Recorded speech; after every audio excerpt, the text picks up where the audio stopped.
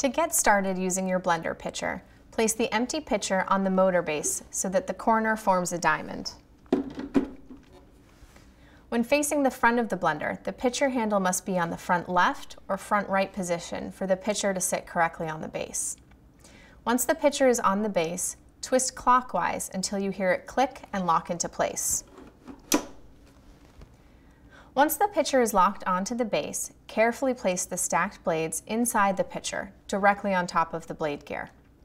Remember to always hold the blade by the top of the shaft as the blades are very sharp. With the blade assembly in the pitcher, place the pitcher lid on the pitcher, aligning the arrow on the lid with the arrow on the pitcher handle.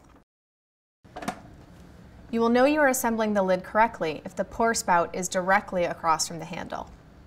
Once the lid is firmly pushed into the top of the pitcher, lower the handle and push firmly until you hear a click. You will know that the pitcher has been assembled correctly when you turn the power button on and the red light is solid. If you see a flashing light on the motor base, check to make sure the lid is firmly attached to the pitcher and the pitcher is fully locked onto the motor base.